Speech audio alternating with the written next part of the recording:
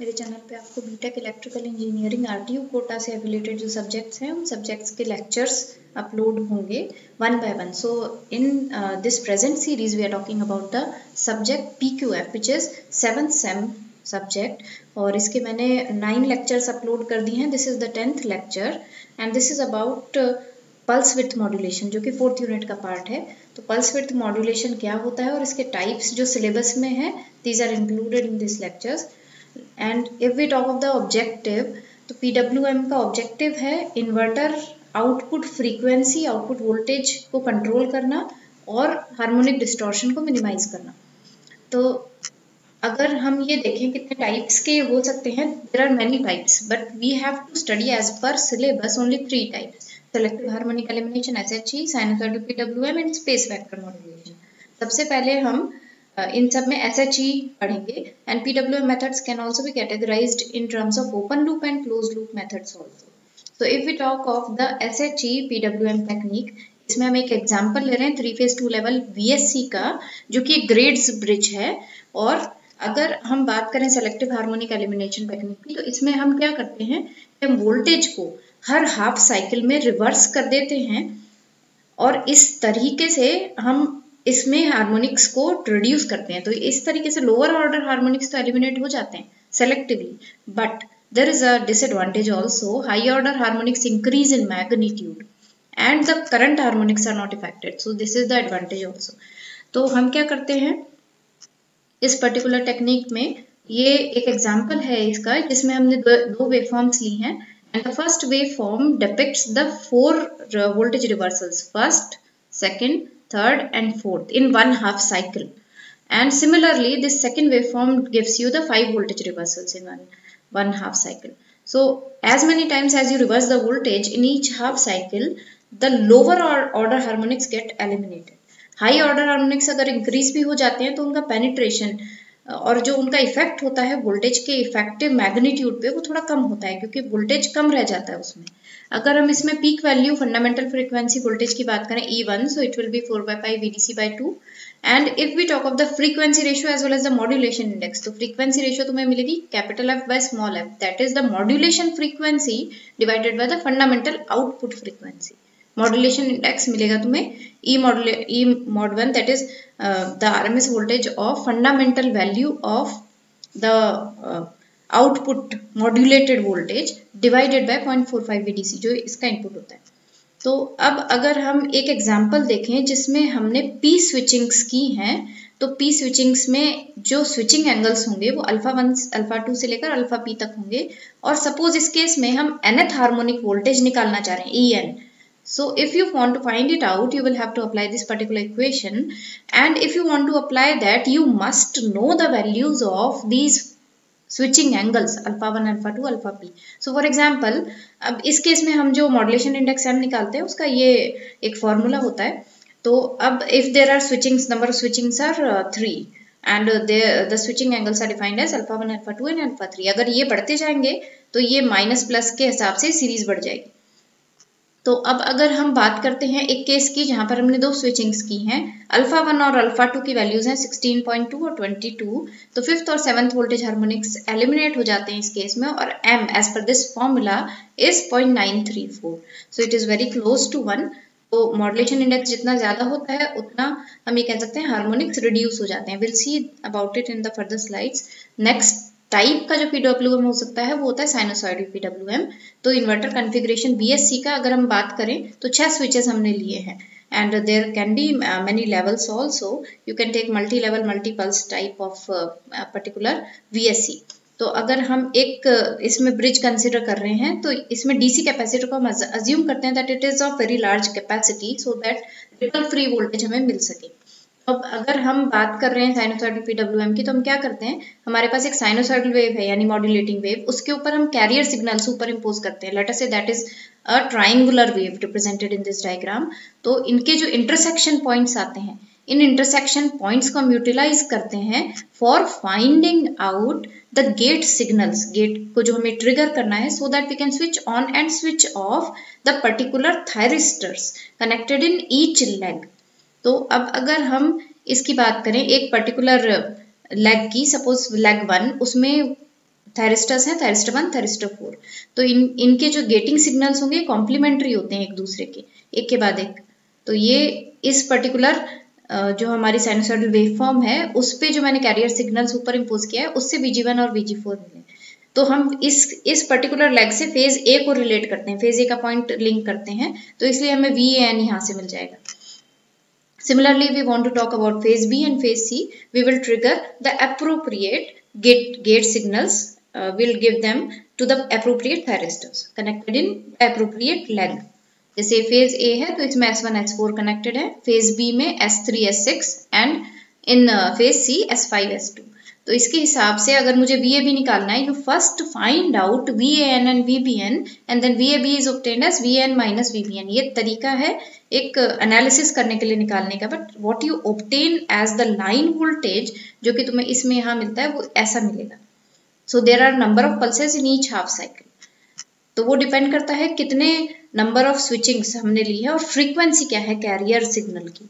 तो अगर हम इस फ्रीक्वेंसी इस पर्टिकुलर केस में फास्ट फोरियर ट्रांसफॉर्म एनालिसिस करें तो हम एक पर्टिकुलर केस लेकर चलते हैं तो total harmonic distortion is approximately 92 percent in the voltage लेकिन करंट में यही 7 परसेंट रहता है तो ये बहुत कम है। और इस केस में अगर हम मॉड्यूलेशन इंडेक्स और फ्रीक्वेंसी मॉड्यूलेशन निकालें तो वो वैल्यूज़ हमें इस तरीके से मिलेंगी। अब अगर हम ये देखें कि एक पर्टिकुलर मॉड्यूलेशन इंडेक्स की वैल्यू के लिए कितना total harmonic distortion this is shown by this blue curve तो जैसे जैसे मॉडुलेशन इंडेक्स को बढ़ाते जाओगे from zero to one zero से वन रेंज होती है मॉडुलेशन इंडेक्स की तो जैसे जैसे ज़ीरो से वन की तरफ़ बढ़ाते जाओगे, वैसे वैसे टोटल हार्मोनिक डिस्टॉर्शन कम होता जाता है। तो हार्मोनिक्स का इम्पैक्ट या पेनिट्रेशन कम होता जाता है। इसी तरीके से अब अगर हम बात करें साइनसॉइडल पीडब्ल्यूएम की तो हमने जो कैरियर सिग्नल सुपर इम्पोज किया this can result in over modulation over modulation का मतलब साइनोसॉइडल वेव का एम्पलीट्यूड ज़्यादा है इस कैरियर वेव से। तो इस केस में तुम्हारा फंडामेंटल वोल्टेज बढ़ जाएगा और लोअर ऑर्डर हार्मोनिक्स घट जाएँगे। अब अगर हम साइनोसॉइडल मॉड्यूलेशन की बात करें पीडब्ल्यूएम तो इसमें एक टेक्निक होती है कि अगर हमें हार्मोनिक्स रिड्यूस करने हैं we use a particular technique named as quasi sine PWM quasi sine PWM में हम क्या करते हैं? एक थर्ड हार्मोनिक वेव इंजेक्ट करते हैं on the on the total wave we obtain from the PWM technique line voltage की जो वेव मिलती है हम उस पर uh, एक third harmonic wave superimpose करते हैं। तो थर्ड हार्मोनिक का इम्पैक्ट ज़ीरो सीक्वेंस पे नहीं होता, पर ये वोल्टेजेस अगर वी ए बी की बात करें लाइन वोल्टेज तो phase voltage V N V में आ जाते हैं harmonics but if we talk of V A B V A B is V N minus V B N so there will be no triplen harmonics in the line voltages इसका ये हमें benefit मिल जाता है। अब तीसरा जो modulation का type है, वो होता है स्पेस फैक्टर मॉडुलेशन इसको हम डिफाइन करते हैं in accordance to the switching states तो स्विचिंग स्टेट्स दो तरीके के हो सकती हैं, या तो ऑन या ऑफ़ और हम इसे लेग्स के बेसिस पे डिफाइन करते हैं। सपोज़ ये थ्री लेग्स हैं तो इन सभी लेग्स में सारे स्विचेस या तो ऑन हो सकते हैं या ऑफ़ हो सकते हैं। So we define it with respect to this point P और एक पॉइंट ओ लेते हैं हम, जो कि इस एन से रिलेटेड है। यानी पॉइंट पी को जब हम बता रहे हैं तो इन तीनों में से कोई एक स्विच ऑन होगा और पॉइंट जब यहाँ पर हम ओ लिख रहे हैं तो इसका मतलब S four S six S two में से कोई एक स्विच ऑन होगा। तो अब अगर हम इसको कैटेगराइज करें और हम थ्री फ़ेज़ की बात करें, यानी ए बी सी तीनों फेजेस का आउटपुट चाहिए मुझे so there can be eight switching states which can be defined by this particular table जिसमें पी पी पी मतलब ये ऊपर वाले तीन स्विचेस ऑन होंगे ओ ओ ओ मतलब ये नीचे वाले तीन स्विचेस ऑन होंगे। इसी तरीके से पी ओ ओ का मतलब ये ऊपर वाले तीन में से एक आ गया स्विच और ओ ओ मतलब नीचे वाले में से बचे हुए दो स्विच आ गए। जो ऑन है एक टाइम पे। तो eight switching states can be there in this particular case हम अगर सारे केसेस निकालें तो। अब इसको हम डिफाइन करते हैं स्विचिंग स्टेट्स के रेस्पेक्ट में पर हम क्या करते हैं कि एक रोटेशन है। रोटेशन uh, uh, मतलब one cycle for example line voltage जो एक साइकिल में होता है positive half cycle and negative half cycle you studied that in instantaneous voltages तो वही चीज़ हम सेक्टर्स की फॉर्म में डिफाइन कर देते हैं। यानी एक रेवोल्यूशन जब है यानी एक साइकिल तो उसमें हमने क्या किया? सेक्टर्स बना दिए, छह सेक्टर्स और इन छह सेक्टर्स के रेस्पेक्ट में छह वोल्टेजेस आ गए V one V two V three से लेकर वी सिक्स तक. तो ये एक रेफरेंस वोल्टेज वी रेफरेंस के रेस्पेक्ट में आते हैं, जिसकी रोटेशनल स्पीड ओमेगा है with respect to the angle theta जो कि ज़ीरो वेक्टर से है. ठीक है? तो ये रेफरेंस वोल्टेज है. रेफरेंस वोल्टेज के रेस्पेक्ट में हम इन सारे वोल्टेजेस सेक्टर वोल्टेजेस को डिफाइन करते हैं. तो इसमें छह एक्टिव वेक्टर्स होते हैं और ज़ीरो वेक्टर्स जो होते हैं, उनकी वैल्यू ज़ीरो होती है। तो दो triple P and triple O are the two zero vectors here तो अगर हम स्पेस वेक्टर्स को डिफाइन करें तो three phase voltages V AO plus VBO plus V C O in time domain will be equal to zero and we have to define space vector modulation in terms of two phase voltages तो हम alpha beta domain में से निकालते हैं from the Clarke transformation matrix तो इससे हम अगर वी टी निकालें तो V alpha plus J V beta मिल जाता है हमें। अब इसको अगर हमें थ्री फ़ेज़ में कन्वर्ट करना है तो तुम्हें वी अल्फ़ा वी बीटा यहाँ से इस ट्रांसफॉर्मेशन मैट्रिक्स से in terms of V A zero V B zero V C zero डाल दो। तो वी टी जो तुम्हें मिलेगा space vector modulated voltage in time domain will be given by this equation and if I say for an example कि एक switching state मैंने ली PO that means I am taking S1, S6 and S2 as on. So in that particular case VAO, VBO, VCO ऐसे मिलेंगे हमें। और उसमें ये जो फिफ्थ इक्वेशन है, इस इक्वेशन को अगर मैं इस इक्वेशन में जहाँ पर VT है two by three V E J E to the power J zero plus V B O and this interval multiplied by this plus V C O angle का डिफरेंस आ जाता है बस। तो वो अगर उस इक्वेशन में मैं तीनों वैल्यूज़ डाल दूँ V O V B O V C O की तो मुझे वी वन वोल्टेज मिल जाएगा। V one because we are talking of only one state that is P O इसी तरीके से बहुत सारी ये स्टेट्स हैं। आठ स्विचिंग स्टेट्स थी, जिसमें से छह एक्टिव स्विचिंग स्टेट्स थी और दो स्विचिंग स्टेट्स ज़ीरो वेक्टर को डिफाइन करती हैं। तो हमें छह सेक्टर्स मिल जाते हैं उनके करस्पॉन्डिंग तो तुम ऐसे ही छह छह और स्विचिंग स्टेट्स के लिए वी के निकाल सकते हो। तो इसीलिए हम के को वन से सिक्स तक डिफाइन करते हैं वन से एट तक डिफाइन नहीं करते। And if we talk of the active and zero vectors I already told you about that तो ये ज़ीरो ट्रिपल पी ये triple P triple O zero vectors होते हैं, बाकी सारे एक्टिव वेक्टर्स होते हैं because they yield certain output in their particular case तो रेफरेंस वेक्टर के रेस्पेक्ट में अगर हम डिफाइन करें तो reference vector will be defined as V reference magnitude into E to the power J theta. And it is rotating in space at an angular frequency of omega 2 pi f. ये पता होना चाहिए। Angular displacement theta is equal to omega T so the change in this angular displacement will be the integration of omega D T and if we talk of the relationship between the reference voltage and the line voltage तो reference voltage जो है, वो दो active vector और एक zero vector से define होता है। तो हम अगर दो active vector suppose V one V two ले लेते हैं, इस केस में दो पर्टिकुलर स्विचिंग स्टेट्स के हिसाब से तो यहाँ पर दो ये स्विचिंग स्टेट्स हो गई। और उसके हिसाब से दो वेक्टर्स मिल गए और एक ज़ीरो वेक्टर इस ज़ीरो वेक्टर को हम ज़ीरो पॉइंट से डिफाइन करते हैं। इससे हमें वी रेफरेंस मिलेगा इन सबसे कंबाइन करके in accordance to the dwell times ये ड्वेल टाइम्स है T A T B T S dwell times का मतलब कितनी देर तक सिस्टम में वी वन और वी टू रहते हैं। तो ड्वेल टाइम टी ए का मतलब वी वन कितनी देर तक है? टी बी मतलब V2 कितनी देर तक प्रेजेंट है? और टी ज़ीरो ज़ीरो वैक्टर तो होता ही नहीं है। तो sampling total sampling period if I take as T S तो T A plus T B plus T zero मिलके सैम्पलिंग पीरियड बनता है। तो जितना ये टाइम है, उसके हिसाब से मुझे ये पर्टिकुलर वेक्टर मिल गए वी वन वी टू में से। इतनी वैल्यू मिल गई अभी इस पर्टिकुलर टाइम पीरियड में और इसके हिसाब से रेफरेंस वोल्टेज मुझे मिल गया। Now, if we want to talk about a particular state and in that particular state I want to find out, I have to use these equations. जहाँ पर v रेफरेंस है v reference e to the power j theta and v1 v2 and v0 are given by these equations. तो real और imaginary parts अगर ये जो eleventh equation है, इसको मैं यहाँ पर डाल दूँ V reference T S V one T A ये इस इक्वेशन में तो इस, ये तीनों वैल्यूज़ अगर इसमें डाल देंगे तो एक रियल पार्ट आ जाएगा, एक इमेजिनरी पार्ट आ जाएगा, इनको अलग कर लो and find out this equation तो इसमें तुम्हारे T A T B T S तीनों अलग हो जाते हैं। और अगर हम इन, इन दोनों इक्वेशन को सॉल्व करें तो तुम्हें ये तीनों values in terms of V reference and T S T A T B और T naught in terms of V reference and T S मिल जाती हैं।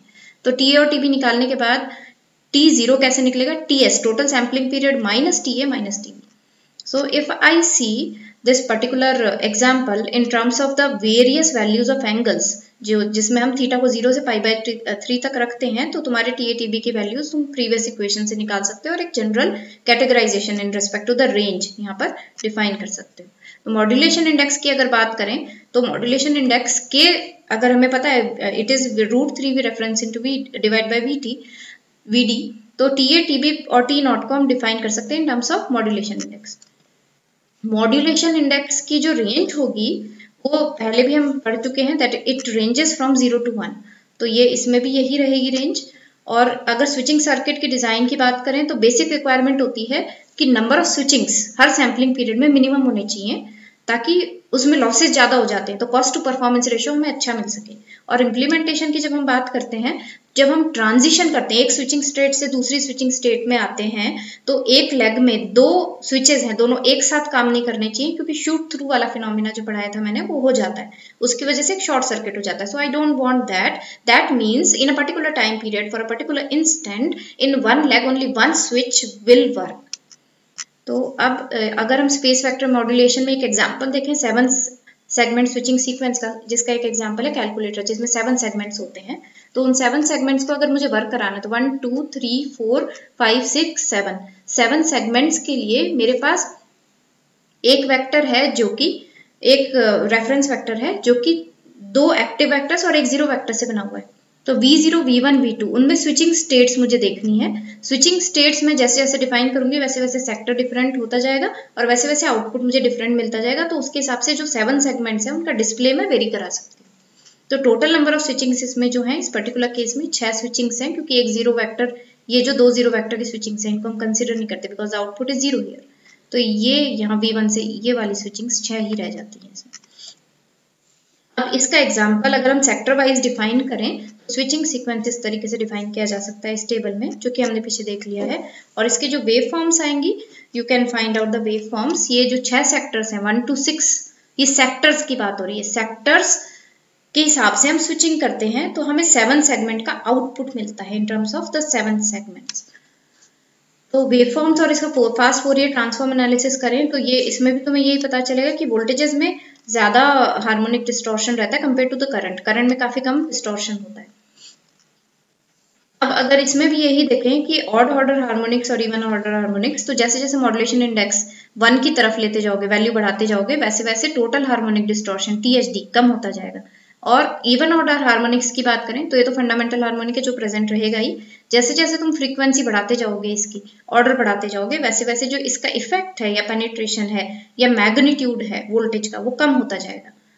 तो अब अगर मुझे इवन ऑर्डर हार्मोनिक्स को एलिमिनेट करने की बात करनी है तो मैं क्या कर सकती हूँ? एक पर्टिकुलर जो रेवोल्यूशन है, जिसमें छह सेक्टर आते हैं, उसमें स्विचिंग सीक्वेंस में बदल सकती हूँ। एक टाइप ए सीक्वेंस होता है टाइप बी होता है। जो सीक्वेंस स्टार्ट और एंड होता है ट्रिपल ओ स्विचिंग सीक्वेंस है उसे हम टाइप ए कहते हैं। जो सीक्वेंस स्टार्ट होता है और एंड होता है ट्रिपल पी से, उसे टाइप बी कहते हैं। तो ये एक एग्ज़ाम्पल है इसका। तो अगर मैं एक रेवोल्यूशन में हर सेक्टर में टाइप ए और type B sequence alternately incorporate कर सकती हूँ तो ये इवन ऑर्डर हार्मोनिक्स भी एलिमिनेट हो सकते हैं and we can get effective operation इसमें हमें काफ़ी अच्छी एफिशिएंसी भी मिल जाती है।